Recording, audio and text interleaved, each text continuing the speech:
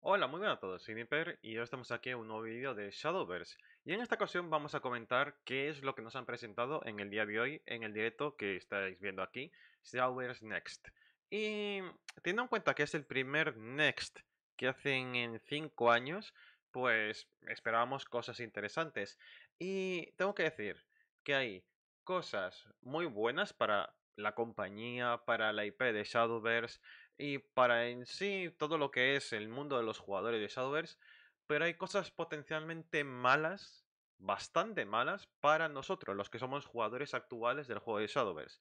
Entonces, vamos a ir poquito a poco hablando de qué es lo que hemos visto en el directo de hoy y bueno, vamos a ir comentando que primero de todo, esto es sobre la IP sobre Shadowverse en general. Tenemos a Shadowverse el de aquí, tenemos Shadowverse el del anime, Shadowverse el de Switch, que son cosas diferentes entre sí, pero comparten el mismo universo de Shadowverse. Entonces, no están hablando directamente del Shadowverse de móvil, pero podemos ver indicativos de por dónde van los tiros. Así que, ahora sin más dilación, vamos a ver qué es lo que nos depara.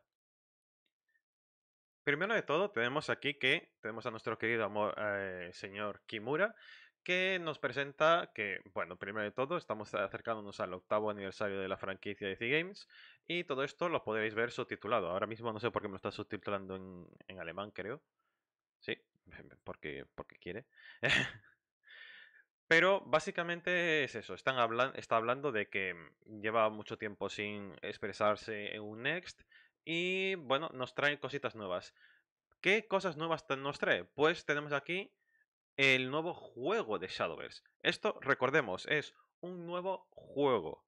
Trata de la misma IP, tendremos personajes que ya conocemos de nuestro juego actual, pero hay que tener en cuenta que esto es un nuevo juego.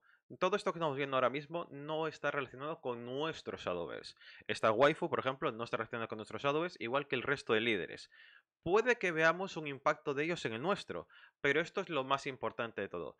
La jugabilidad hemos ido dando feedback a lo largo de todos estos años de cómo podría mejorar el juego. Y aquí podemos ver ya algunas cosillas. Primero de todo, vemos de que está mejorado la estética a la hora de presentarse los jugadores. Esto yo creo que nadie le daba mucha importancia en sí misma. Pero tenemos también eh, una cosa muy importante, el comienzo de la partida.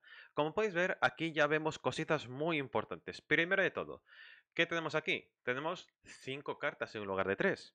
Esto implica un mulligan inicial más estratégico. Y como podemos ver aquí, está diciendo que va segundo y aquí dice que va primero. Este tiene 4 cartas y nosotros tenemos 5.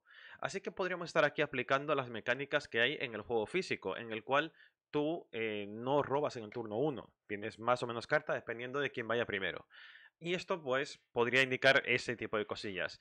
¿Cómo se aplicará a mecánicas actuales como avaricia, que es robar dos cartas activa avaricia? Pues eso por ejemplo no sé cómo se aplicaría en el turno 1, pero vamos a ver que eh, precisamente la clase en donde está avaricia, que es vampírico, también va a tener un cambio drástico en este futuro juego de C-Games. Y podemos ver que hay caras conocidas, por ejemplo aquí tenemos a nuestra querida Dindon, y la estética es algo que ya conocemos de nuestro juego. Parece que está un poquito más amplificada la parte de la ilustración y las animaciones van a ser mucho más espectaculares.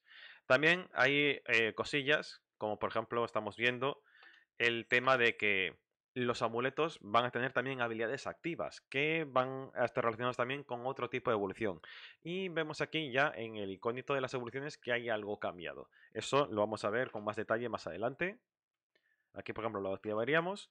Y aquí tenemos la evolución, las animaciones eh, son prácticamente como las que tenemos de los líderes mejores, los, líderes que tienen el marco dorado, que tienen unas animaciones bastante tochas, aquí vemos de que sería algo más frecuente en este juego. Eh, la presentación de los líderes, eh, de los jugadores, también está bastante mejorada. Y vemos que ha cambiado el, estilo de dibujo y de presentación de los mismos. Aquí, por ejemplo, vemos que Orchid está bastante cambiada. Pero vemos que continúa estando Orchid. También tenemos aquí a Albertito. Y las animaciones de ser jugado las cartas también evolucionan a una forma mucho más estéticamente placentera, pero son animaciones muy largas. Eso ya sabemos que de cara al competitivo, eh, tiempo que gastas en animaciones, tiempo que gastas de tu turno. Así que seguramente los que compitamos o que juguemos mazos que requieren mucho pensar en un mismo turno, pues las animaciones las sacaremos quitando. Porque mm, es tiempo que pierdes a la hora de hacer ciertas cosas. Y eso pues siempre conlleva a ciertos problemillas. Y aquí hay una cosa muy importante. El timing del turno. Esto, em, después de ver el directo este, estuvimos en una llamada de Discord, y Yoritomo, Sai, em, también estuvo Roxy y algunos que otros de la comunidad de Shadowverse en Latinoamérica. Y estuvimos eh, fijándonos en qué partes eh, son más destacables del, del tráiler en sí mismas. Y por ejemplo, vemos aquí que esto ya estaba en la beta. Fue retirado porque la la estética de la beta era terroríficamente mala y pues aquí vemos que recuperan el timing visual, cosa que todo el mundo quería. El tema de que tú solo ves cómo se va cerrando el círculo y después está como un tiempo ahí pensándoselo si se cierra o no del, todo, llevaba confusión y o tenías tú el reloj interno bien preparado para ello o había momentos en los que no tenías ni pajorera de lo que te cabía esperar de cuando terminaba el turno. Entonces, eso es una gran mejora. Y como podemos ver, las animaciones son bastante más espectaculares. Aquí están jugando a Avatar, eh, que sería Satán, y vemos que... Oh, aquí abajo a la izquierda hay cinco huecos. ¿Para qué serán estos cinco huecos? Pues no lo sabemos, obviamente, no han dicho nada sobre ellos, pero hemos tenido varias teorías. Una de las teorías más compartidas entre nosotros sería de que aquí tendríamos las habilidades que se aplican a nuestro líder. Yo podría indicar también de que hay varias posibilidades aparte de esa, que sería em, activaciones de una habilidad del personaje que quede activa la habilidad o activable la habilidad y tengas un máximo de 5. Em, que no es que sea de tu líder, sino que las tienes ahí como opciones y por tanto podrían llegar a eh, quitártelas o borrarte una habilidad de esas. No sabemos si estos son botones que tú puedes activar o simplemente son pasivas que están mostradas, cosa que no estaría mal porque siempre a la hora de visualizar mejor qué está activo y qué no está activo, pues es algo bastante agradecido para la vista. Em, eso estaría muy importante en ese sentido. Y aquí, si os fijáis, un momentito más atrás, vemos los puntos de evolución. Y este es el turno de evolución en sí mismo. Vemos que cambia un poquito la estética, pero esto es muy importante. Tres puntos de evolución, cuatro puntos de evolución. Y esto es mm, básicamente porque van a introducir un nuevo tipo de evolución, que eso lo detalla más adelante nuestro señor Kimura. Eh, aquí vemos que las animaciones son espectaculares. En la presentación de los personajes con sus animaciones propiamente dichas. Tenemos aquí a nuestra querida Felina y aquí tenemos a Cerberus con sus animaciones muy muy curradas y eso es un avance bestial eh, en la estética. Pero ahora esto de aquí es lo de la super evolución. Vemos que tenemos la evolución normal y la super evolución que más adelante, ya os digo, lo detalla un poquito a poco, pero un resumen es de que esta cuesta más cara, gasta más puntos de evolución en, activarse. Y activa una segunda habilidad aparte de la habilidad de evolución por sí misma. Y claro está, las animaciones, lo dicho, esto todo es muchísimo mejor en todos los sentidos. Y aquí vemos otra añadidura extra, que esto ya lo veremos de que se está, están empezando a ponerse de moda el tema de tener un lobby interactivo. Aquí tú tendrías tu personaje, eh, Kimura dijo que sería customizable, así que no es que sean cinco diferentes y todos cojas uno de ellos, podríamos llegar a meter nuestra persona ahí, algo así como el metaverso, que lo utilizaron en la traducción y no sé yo si es lo más correcta, pero como en Occidente lo metieron en el conocimiento de la gente el tema de introducirse a uno, a uno mismo en el mundo digital con esa palabra, pues este sería en ese sentido. Que tendríamos una forma de tener nuestro avatar movible e interactuable con otros jugadores y el típico lobby como el que ya vemos en el Gran Blue Fantasy Versus, donde tú puedes interactuar y obviamente, como lo que en el Gran Blue Fantasy Versus hay minijuegos, pues aquí también tendremos minijuegos. hemos visto unos pocos que serían el de fútbol, hay un Mahjong, que es esta especie de, solitario interactivo entre cuatro jugadores que es de juntar cartas y hacer cosas muy locas. El Mahjong es un juego muy adictivo en el cual nunca me he metido suficiente como para saber de verdad cómo funciona esto. Pero vemos aquí que tenemos los avatares reconocibles y va a haber cositas interesantes con respecto a todo esto, porque ¿qué conlleva tener videojuegos interactivos y animaciones y todo lo demás? Como por ejemplo un juego de pesca. Sabemos que los juegos de pesca en los videojuegos siempre van a tener público, porque, no sé, tienen ese encanto que a la gente le gusta. Y aquí pues tendríamos esta forma de obtener cosas, incluso una especie de raid que no sé cómo demonios la tendrán pensada, a lo mejor es como el Pokémon Go, esa es la teoría a la que he llegado yo, porque no muestran nada más. Y aquí vamos a un resumen de todo lo que nos han mostrado que, contendrá este juego. Tenemos jugabilidad, eh, animaciones mejoradas, minijuegos, y por ahora no sabemos mucho más de esto. Es un juego nuevo que es para evolucionar la IP de Shadowverse. Eh, también nos ha recordado aquí eh, Kimura de que Shadowverse es una IP que ya tiene 8 años. Y hemos visto que ha, conseguido su juego de cartas físico, su juego de cartas en la Switch, que es diferente. Eh, tenemos el juego original, que es el nuestro. y ahora tenemos también esta de aquí, que sería el Worlds Beyond. lleva mucho la confusión cuando él está hablando eh, porque utiliza la palabra Shadowverse. Shadowverse nosotros lo tenemos como nuestro juego porque es el único nombre que tiene nuestro juego, es Shadowverse. Pero la IP al mismo tiempo también se llama Shadowverse, así que puede caber eh, la posibilidad de que esté hablando de la IP o de nuestro juego al mismo tiempo o en diferentes momentos. Entonces, eh, hasta que el día 14 nos muestren qué es lo que va a pasar de verdad, porque el día 14 tendremos la presentación del juego de peleas, de el Rising, que es el revivir del juego que salió de nuevo porque tuvieron que hacer desde cero. Y ahí tendremos noticias también sobre nuestro juego de Shadowverse. Pero vemos aquí que en verano, en verano de nuestro hemisferio, de donde estoy yo, en el hemisferio norte, o sea, pongámosle desde junio hasta septiembre, ahí, el abanico es bastante amplio, es cuando está presentable este juego. Este juego, pues como podéis ver aquí, estará tanto para teléfonos de iPhone, estará para Android, o sea, teléfonos como el mío, y para PC. Y bueno, pues eso conlleva de que también será free to play, igual que los demás juegos de Shadowverse. Y como podemos ver, es un competitivo online colectivo card game.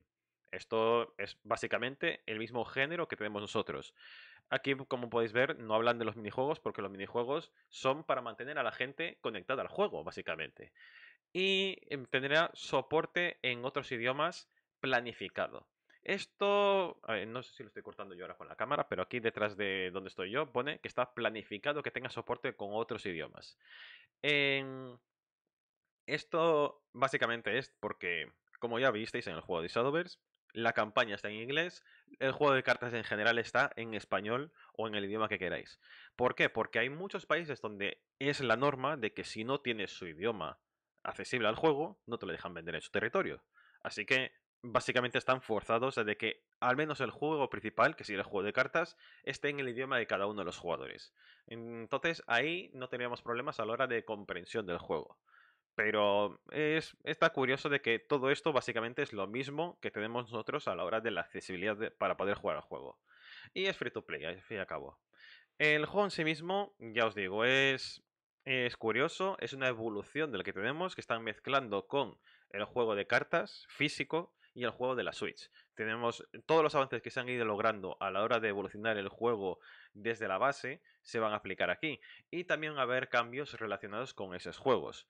También, obviamente, se van a incorporar mecánicas para darle un poquito de refresco a este juego comparado con el que tenemos nosotros. El nuestro ya tiene sus ocho añitos y tú puedes ir parcheándolo, puedes ir mejorándolo, pero habrá algunas cosas que o lo cambias de raíz o es muy difícil que se implementen también el motor del juego importa mucho. Estamos hablando de un juego que es de una generación anterior, pero que, según está diciendo él, no va a tener un problema a la hora de seguir recibiendo aportes y seguir recibiendo soporte en general de expansiones, eventillos, colaboraciones, etcétera, etcétera.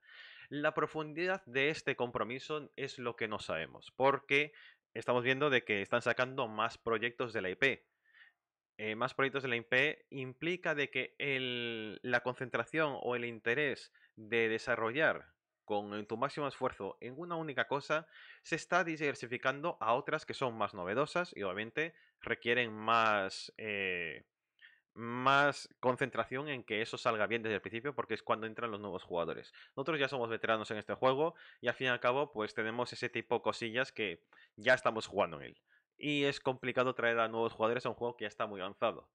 Y entonces tienes que poner cosas de menor nivel o empezar desde cero, como por ejemplo pasó con el juego de la Switch, que empezaron con una expansión básica y fueron poniendo expansiones ya incorporando mecánicas que nosotros tenemos. Y aquí vemos el primero de los cambios, que es la del super evolución que os decía.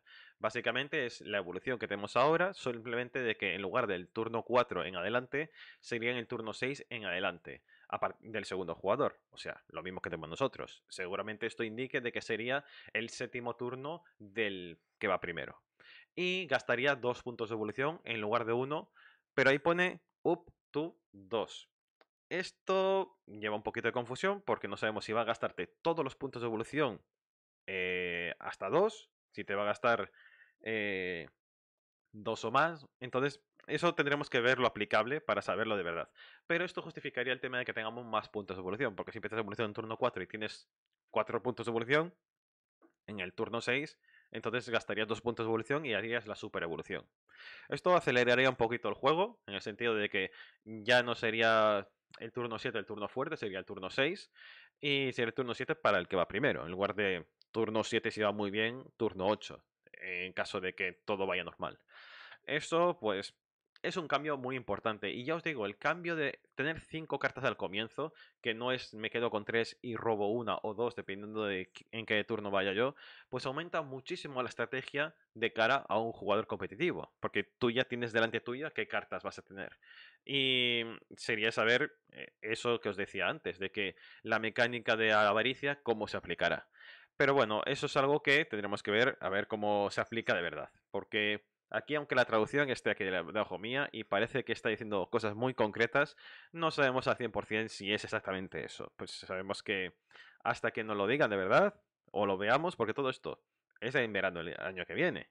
No sabemos si todo esto va a cambiar. Lo pone ahí, abajo a la derecha. Está sujeto a cambio. Y aquí, por ejemplo, están hablando de la super evolución, que es básicamente una evolución con esteroides, porque sería, en este caso, que es una carta de ejemplo, que se ve en el gameplay que nos están mostrando. Estamos hablando de que es una carta que se clona a sí misma, o sea, pondría otra copia de sí mismo, y al super evolucionarla le darías asalto a la copia. A ver, es una carta plateada, pero y sí, dentro de la Q3 de la carta en sí misma, pues puede tener sus cositas interesantes. Porque al fin y al cabo estamos diciendo que pone una copia. Pero eh, la copia no tiene habilidades de embestida. Le estarías dando salto para que pueda hacer algo. Si no le dieras eso, se quedaría sin hacer absolutamente nada. Entonces, está curioso ese tipo de cosillas. Pero esto es algo que es necesario para eh, justificar dos puntos de evolución utilizables. Ahora, hasta ahora en nuestro juego, la única carta que utilizaba algo similar a esto era los Caballeros Dragón, que era por coste 8 de aumento, si tienes dos puntos de evolución, los consumes, y entonces ponía los cuatro Caballeros Dragón y evolucionan los cuatro al mismo tiempo.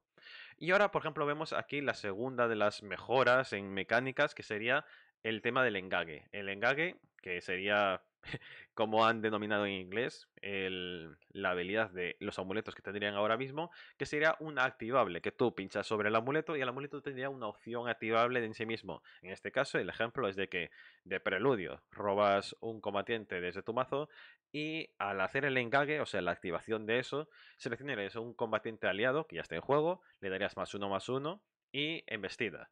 Y destruyes el amuleto en el proceso.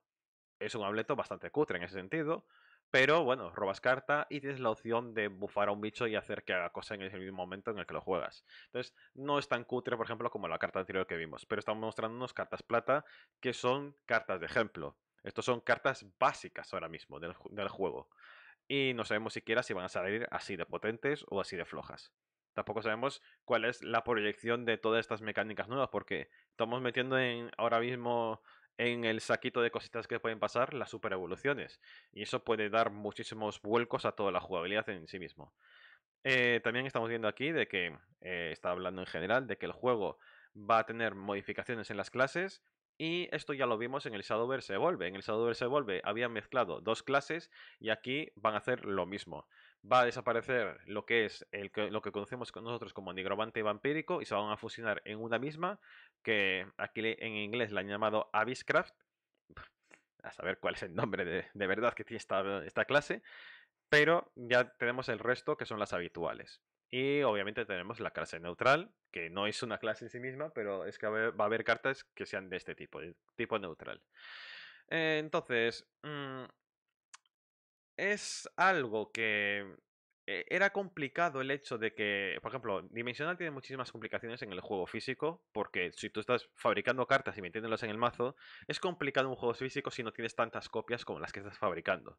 Pero aquí estamos hablando de que esto es un juego digital, aquí puedes hacer lo que quieras, y mezclando vampírico y nigromante, que son dos clases que arquetípicamente no son compañeras al 100%, eh, pero tienen la, la cosa de que son de sacrificio entre sí mismas. Una sacrifica vidas, otro sacrifica bichos. No sé cómo lo conjuntarán. Pero están limitando un poquito las opciones al juntar esas dos clases, a mi parecer. A ver la implicación después, si es una forma de control de daños, porque sabemos que Nigromante siempre ha sido así. Ha sido de o está en el pozo o está en la cumbre.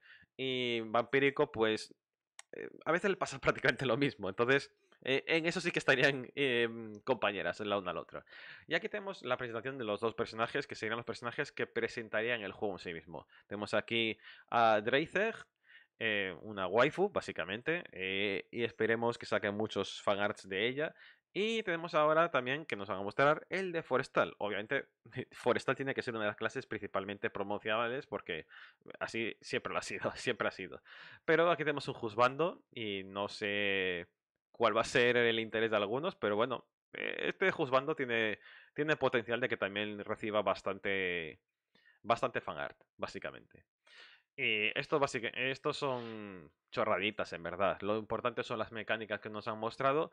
Y también está el tema de qué futuro va a tener el juego en su capacidad de juntar jugadores.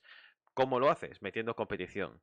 Entonces, la competición eh, también la han detallado, de que ya tienen planes de que tenga su faceta competitiva el juego.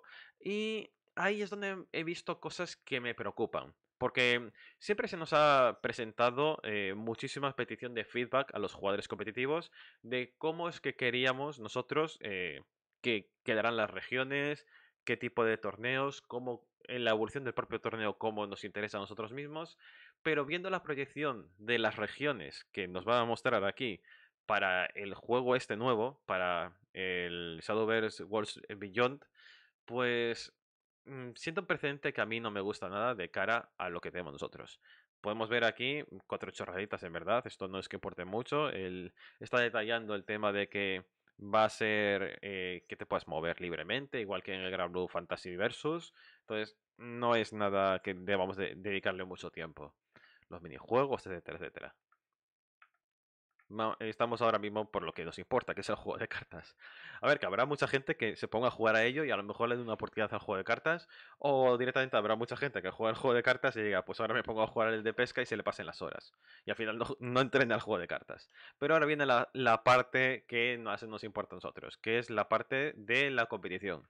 La competición, pues ya tenemos aquí que va a haber torneos planteados para este juego que tenemos el Shadowverse Rage, que es el, típico de Japón, el Pro Tour del Rage, que es como una mini liguilla, y después va a haber torneos en tienda, torneos estudiantiles, que esto es la liga universitaria que tienen por allí, y otros torneos online. Esto para Japón. Ahora viene el problema. Torneos fuera de Japón. Nitis, que esto es China, Corea, Taiwán, que no sé cómo les han permitido hacer esto, pero por mí me da igual. Eh, eh, mm, la soberanía de esto algunas veces sí, otras veces no. No sé cómo, cómo quedará al final. Pero este es el problema. Este es el mayor problema de todos. West y SEAO. Estamos en el mismo recuadro. Y aquí no acaban los problemas. Los problemas continúan en la siguiente pantalla. Y esto sí que es bastante problemático. Porque estamos hablando de que. ¿Qué es West y SEO? West es eh, América y Europa. SEAO, ¿qué es? Oceanía. ¿No, veis el problema ahí? Si hay un torneo donde estamos todos, ¿en qué horario se juega? ya, ya el de West a veces cuesta. Porque los que están en Europa los que están en Europa del Este terminan de madrugada. Y el, el día 2, el top 8, terminar de madrugada cuando tú trabajas el lunes es muy jorobado. Eh, los de Sudamérica, ahora mismo, con estos torneos, empiezan al mediodía o incluso antes, dependiendo de qué parte del continente estén. ¿Cómo metes ahí a los deseados? ¿Cómo los metes ahí? ¿Cuál es el horario posible en el cual alguno de ellos no tenga que jugar de madrugada.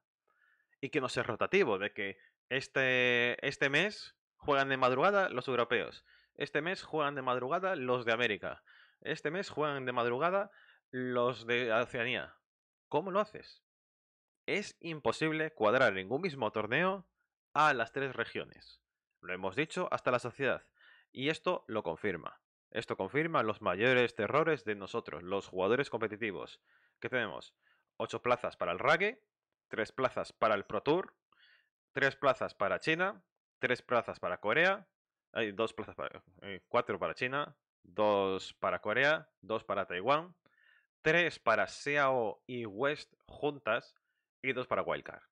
Eh, él está hablando de y otros torneos. Lo de otros torneos es porque aún no tienen el nombre para los torneos que te clasifican en la Wildcard, básicamente. Pero esto lo que han hecho es que nos han quitado tres plazas a West y SEO para dárselos a la Liga del Pro Tour. ¿Y esto qué conlleva? Pues que de Japón van a proceder toda esta gente. Y de China van a proceder estos. Corea y Taiwán van a tener bastante volumen de jugadores en, el mundial. Y tenemos aquí que entre tres continentes va a haber tres jugadores. Esto es algo muy, muy malo. Muy, muy malo porque ¿cómo lo haces? ¿Cómo plantea los torneos? Ahora mismo estamos con 250 eh, jugadores en el torneo de West y 250 en el SAO. ¿Vas a hacer que durante todo el año solo haya tres, tres sillones para el Mundial? Eso conlleva que muchísima gente se desilusionará. Si se desilusionan, dejan de promocionar el juego porque dejan de jugarlo a nivel competitivo. Y a lo mejor no son jugadores casual, son jugadores que quieren competir. Si le quitas la posibilidad, eh, algunos dirán, no, me voy a esforzar más. Eso es muy limitado. Hay que ser realista y no todo el mundo decidirá gastar su tiempo y su sueño en, en intentar conseguir estos asientos, con lo difíciles que es conseguir obtenerlos. Entonces, esto es un durísimo golpe para la comunidad internacional. Porque fijaros, de la región, estos son todos geográficamente gemelos. Japón, Japón, China, Corea, Taiwán. Todo esto está prácticamente en la misma franja horaria. China tiene varias franjas horarias, a la vez no, porque es un país muy peculiar, pero, pero sí, todo esto es franjas horarias similares. Esto está por todos los lados. O sea, ninguno de los que están en esta región, en, esta, en estas regiones, tiene un horario parecido. Ni siquiera mínimamente parecido. Hay medio día de diferencia entre unos y otros. Y esto es muy, muy duro para aquellos que competimos. Esto es muy preocupante, muy, muy preocupante. Y eso me causa bastante desilusión queda ver a ver qué es lo que nos tiene que decir de cara a las novedades que está diciendo de que eh, vamos a tener más novedades el día 14, que es cuando presentan el juego de peleas definitivamente, que ha terminado la beta y todo lo demás.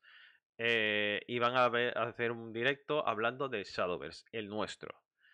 Pero viendo de que el interés está yendo hacia las nuevas IPs, cosa que es normal. Eh, la IP está evolucionando en una dirección.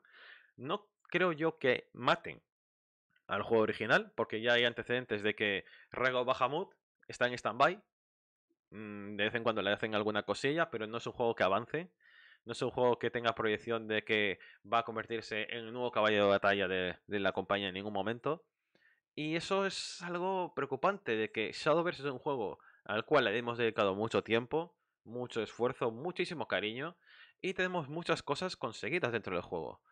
Y eso también está el tema de qué va a pasar si va a haber una posibilidad de que podamos movernos de nuestro juego de Shadowverse al juego nuevo con nuestros logros con nosotros, o sea, nuestra identidad dentro del juego. Por ejemplo, yo tengo campeón de una copa, eh, tengo mis avatares de haber competido en un montón de, de torneos a lo largo de estos ocho años, bueno, siete y medio en mi caso, porque yo no empecé exactamente cuando empezó el juego, pero casi. Em, tenemos nuestras fundas, tenemos todos nuestros líderes que hemos obtenido, las colaboraciones con los animes y otros juegos. Es algo que preocupa en caso de que hagan la transición. Porque no me gustaría ver a mi juego morir. Es un juego que yo creo que tiene muchísimas, muchísimas posibilidades de cara a futuro convertirse en el mejor juego de cartas.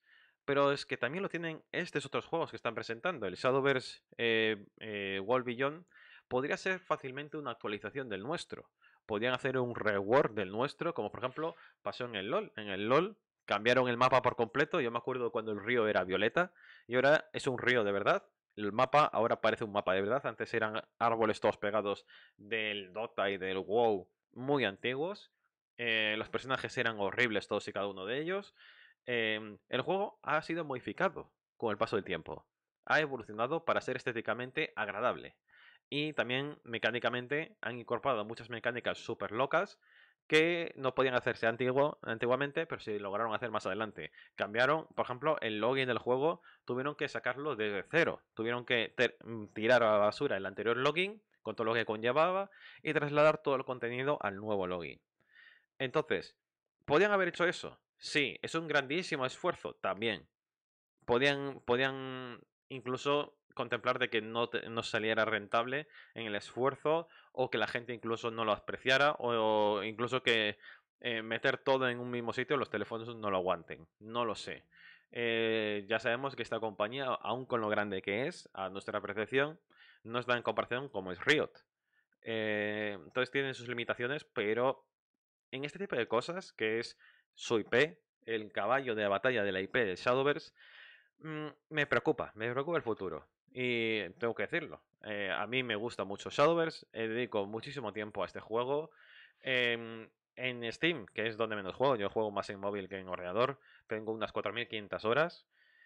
Y no me gustaría nada de que se convirtiera en un juego eh, que esté a la espera de a la espera de que pasen cosas.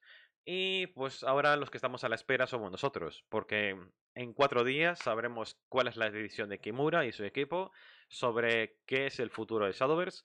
Tenemos que ya están planeando torneos de cara a este, este juego nuevo, que ya vemos que en 2024, a partir de verano es cuando saldría este juego, pero sin embargo ya hay torneos planteados para ir clasificándose para el Mundial. El Mundial han dicho que está planificado a principios de 2025. Principios de 2025 puede ser hasta verano de 2025. Así que eso no se sabe. Y son muchos detalles que están en el aire que a mí me han causado más preocupación que alegría, la verdad. Me, encanta ver que la IP avanza, me encanta ver nuevas formas de apreciar el arte del juego, de que las mecánicas avancen, de que esto traerá nuevos jugadores y conocerán cada vez más la compañía pero las preocupaciones que me trae todo esto superan ahora mismo mi júbilo. Y esto sería lo que os quería comentar. Este, este vídeo de Shadowverse Next, eh, de la compañía de Shadowverse, aquí está. Lo tenéis en la descripción de todas formas, si es que no lo veis vosotros por vosotros mismos. Eh, activa los subtítulos y ponerlo en español, porque a mí no sé por qué me lo ponen en alemán y estoy en España. Eh, no fiéis tampoco al 100% de la traducción. Yo, escuchando lo del japonés, estaba viendo la ambigüedad a la hora de que cuando habla de Shadowverse no sabes exactamente a qué Shadowverse se refiere, pero creo que en todo momento se está refiriendo a la IP, no a nuestro juego, y sabremos algo en cuatro días. Y para entonces, pues os intentaré avisar por mi canal de YouTube y por Discord, como es habitual. Y para lo que queráis, en la caja de descripción de este vídeo tenéis para comenzar conmigo y para mostrarme vuestras ideas de cuál es eh, el mensaje que podemos eh, destacar de todo esto. También si estáis eh, emocionados por jugar el nuevo juego, no lo sé. Eso me gustaría también saberlo por vuestra parte. Y nada, nos vemos en el próximo vídeo directo o en mis redes sociales, como ya sabéis, tenéis mi Discord, donde ahí tenemos una comunidad, aunque pequeñita, de Shadowverse está.